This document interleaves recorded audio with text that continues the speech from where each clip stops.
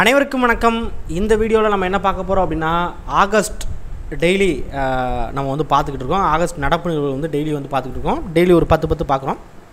இன்றைக்கி டே ஃபைவ்க்குரிய current affairs தான் பார்க்க போகிறோம் சரிங்களா? டோட்டலாக வந்து ஒரு ஒன் ஃபிஃப்டி இருக்குது. நம்ம ஆல்ரெடி ஃபிஃப்டி கரண்ட் அஃபேர் வந்து பார்த்துட்டோம். இப்போ ஃபிஃப்டிலேருந்து ஒரு சிக்ஸ்டி வரைக்கும் பார்க்கலாம். சரிங்களா? இந்தியாவோட முதல் மொபைல் ஆர்டிபிசிஆர் எங்கு தொடங்கப்பட்டது? இந்தியாவோட முதல் மொபைல் ஆர்டிபிசிஆர் எங்கே அப்படின்னா கர்நாடகா. இந்த ஆர்டிபிசிஆர் அப்படின்னா reverse transcription polymerase chain reaction. Reverse transcription polymerase chain reaction. அதாவது ஹச் ஒன் என் ஒன் இந்த மாதிரி நோய்கள்லாம் இருக்கு இல்லையா? அதை வந்து என்ன பண்ண போகிறாங்க அப்படின்னா ஆராய்ச்சி பண்ணுறதுக்கு மொபைல் ஆர்டிபிசிஆர் அப்படிங்கிறது. வேளாண் உள்கட்டமைப்பு நிதியத்தின் கீழ் விவசாயிகளுக்கு ஒரு லட்சம் கோடி கடனுதவி வழங்கும் திட்டத்தை பிரதமர் தொடங்கி வைத்தார். எத்தனை சதவீதம் வட்டியில் விவசாயிகளுக்கு ரெண்டு கோடி வரை கடனுதவி வழங்கப்படும்? எத்தனை சதவீதம் வட்டி அப்படின்னா மூன்று சதவீதம் வட்டியில். சரிங்களா? எத்தனை இராணுவ தளவாடங்கள் இறக்குமதி செய்வது? ரெண்டாயிரத்தி இருபத்தி நான்காம் ஆண்டுக்குள் நிறுத்தப்படும் என்று பாதுகாப்புத்துறை அமைச்சர் அறிவித்தார். டோட்டலாக ஒரு சில இராணுவ தளவாடங்கள் வந்து இறக்குமதி வெளியிலேருந்து இறக்குமதி செஞ்சுட்டு வராங்க. ஸோ அதை வந்து தடுக்கணும் அப்படின்னு சொல்லிட்டு ரெண்டாயிரத்தி இருபத்தி நான்காம் ஆண்டுக்குள்ளே நிறுத்தப்படும் முற்றிலுமாக வந்து நிறுத்தப்படும் அப்படின்னு சொல்லிட்டு பாதுகாப்புத்துறை அமைச்சராக இருக்கிற ராஜ்நாத் சிங் வந்து தெரிவிச்சிருக்காங்க. சரிங்களா? அது எத்தனை தளவாடங்கள் அப்படின்னா ஒரு நூற்றி ஒரு இராணுவ தளவாடங்கள். சரிங்களா? இலங்கையின் புதிய பிரதமராக பதவியேற்றுக் கொண்டவர் யார்?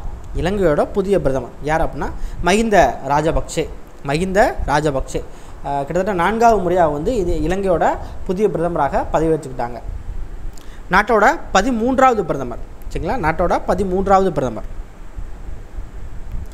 கீழ்கண்ட எந்த பகுதியில் பத்தாயிரம் கோடியில் சரக்குகளை கையாள புதிய துறைமுகம் அமைக்க திட்டமிடப்பட்டுள்ளது? எந்த பகுதியில் பத்தாயிரம் கோடியில் சரக்குகளை கையாள? எந்த பகுதி அப்படின்னா Great Nicobar Great Nicobar Belarus புதிய அதிபர் யார்? பெலாரஸ் புதிய அதிபர் யார் யார் அப்படின்னா? அலெக்சாண்டர் லூக்கஷென்கோ அலெக்சாண்டர் லூக்கஷென்கோ ஆறாவது முறையாக வெற்றி பெற்றிருக்கிறார். எந்த மாநிலம் ஓடி ஓபி திட்டத்திற்காக ஃப்ளிப்கார்ட் நிறுவனத்துடன் புரிந்துணர்வு ஒப்பந்தம் மேற்கொண்டது? எந்த மாநிலம் ஓடி ஓபி திட்டத்திற்காக ஃப்ளிப்கார்ட் நிறுவனத்தோட புரிந்துணர்வு ஒப்பந்தம் மேற்கொண்டது? எந்த மாநிலம் அப்படின்னா உத்தரப்பிரதேசம். சரிங்களா? உத்தரப்பிரதேசம். அதாவது ஓடி ஓபி அப்படின்னா ஒன் டிஸ்ட்ரிக்ட் ஒன் ப்ரோக்ராம் அப்படின்னு சொல்லுவாங்க. ஒன் டிஸ்ட்ரிக்ட் ஒன் ப்ரோக்ராம் அப்படின்னு சொல்லிட்டு. பெரு நாட்டின் புதிய பிரதமர் யார்?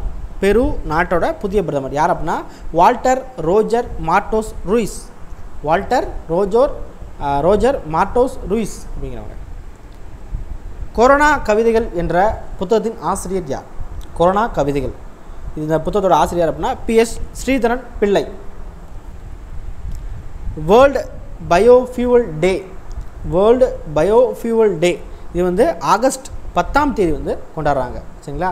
ஸோ இன்னும் ஒரு அஞ்சு கரண்ட் அஃபேர் இந்த எக்ஸ்ட்ரா வந்து பார்த்துருவோம். ஏன்னா டோட்டலாக எழுபத்தஞ்சு கரண்ட் அஃபேர் சொல்லியிருக்கேன் இல்லையா? நாளைக்கு வந்து மிச்சம் பத்து கரண்ட் அஃபேர் பார்த்துக்குவோம். நாகசாயி தினம். ஆகஸ்ட் ஒன்பதில் வந்து கொண்டாடுறாங்க. நாகசாயி தினம் ஆகஸ்ட் ஒன்பதில். இந்த நாகசாயி மேலே போடப்பட்ட அந்த அட்டாமிக் பாம்ப் பேர் என்ன அப்படின்னா ஃபேட் மேன் அப்படிங்கிற பாம்ப் சரிங்களா? இந்திரா ஒன் மிட்டன் யோஜனா தொடங்கியுள்ள மாநிலம் எது? இந்திரா ஒன் மிட்டன் யோஜனா தொடங்கியுள்ள மாநிலம் எது? எந்த மாநிலம் அப்படின்னா சத்தீஸ்கர். சத்தீஸ்கர் மாநிலம் தான் இந்த இந்திரா ஒன் மிட்டன் யோஜனா அதாவது பழங்குடியினருக்கு சுய வேலைவாய்ப்பு.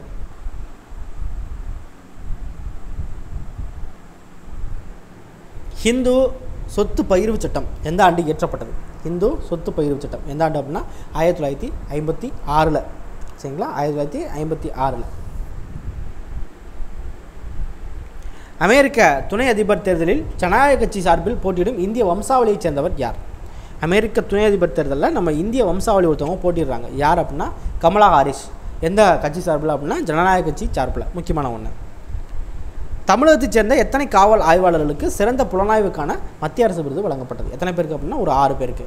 ஜான்சி ராணி கவிதா பொன்னம்மாள் சந்திரகலா கலா வினோத்குமார் அப்படிங்கிற ஒரு ஆறு பேருக்கு. ஸோ இன்று வந்து ஒரு டே ஃபைவ்க்குரிய கரண்ட் அஃபேர் வந்து பார்த்துட்டோம். ஸோ நன்றி.